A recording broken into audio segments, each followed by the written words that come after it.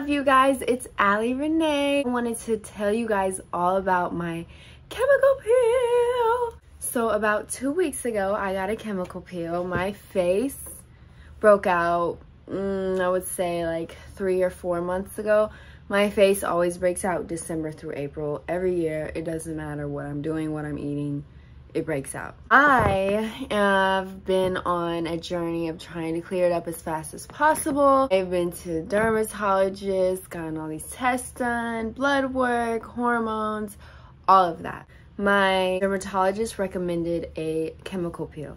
Now, I usually do laser genesis, but I obviously needed something more than that because it wasn't working. But I will say laser genesis is A1 for scars. But active acne, I don't know. Richards Cosmetics in Las Vegas, my hometown.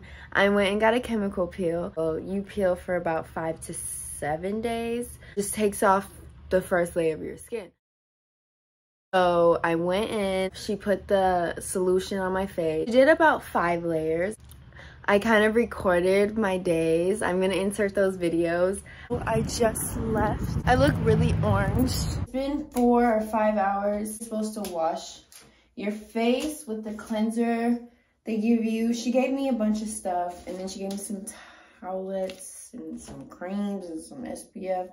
All the good stuff, you know what I'm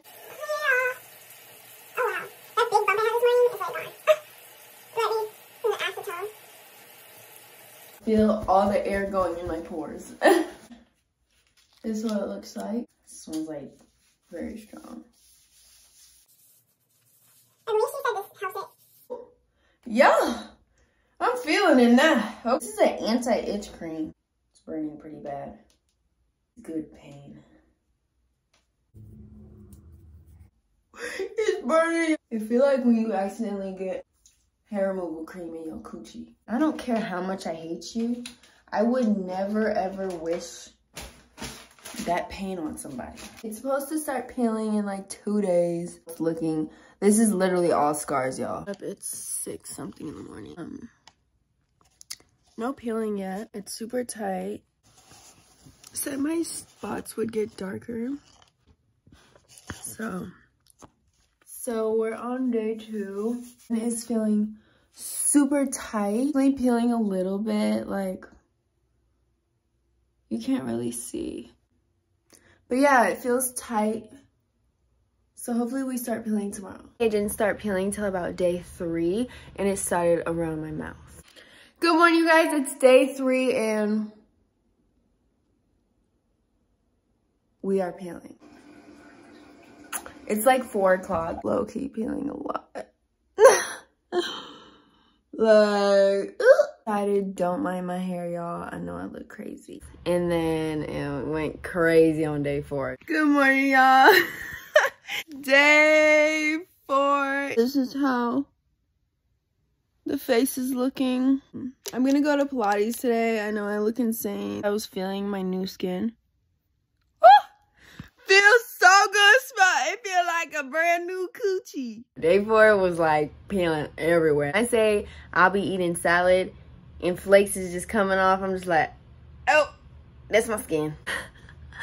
I got to stay home for a couple days. It wasn't painful. I didn't even realize my skin was peeling unless I look at it or just, you know, feel it. You have to leave it alone. Like you wash your face, you put on sunscreen, and that's it. I was going up in Pilates with skin peeling on my face. Day five and day six, it was pretty much just around my hairline. Now, we are officially two weeks out. My skin looks amazing. It's so glowy.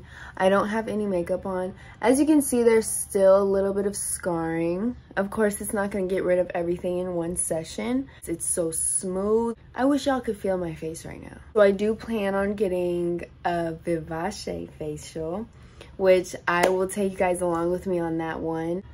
My skin has been through it, y'all. Thank you guys for listening to my experience. If you guys have any questions, let me know. And I hope for clear skin for everyone watching this. I love y'all and God bless you.